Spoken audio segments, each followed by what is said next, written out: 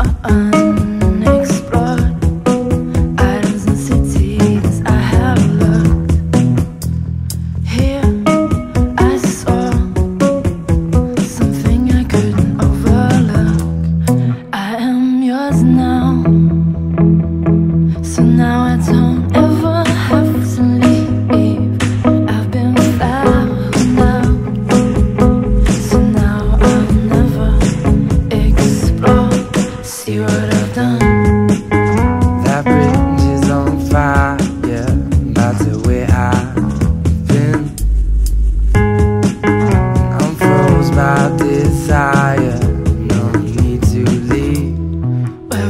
Be? If this were to go under, that's the risk I take.